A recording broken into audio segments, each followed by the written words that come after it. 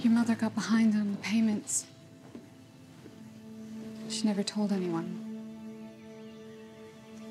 I don't understand.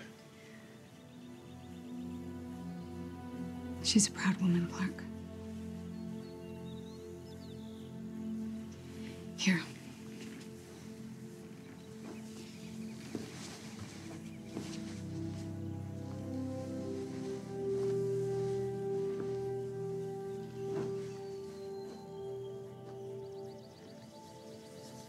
She loved it here.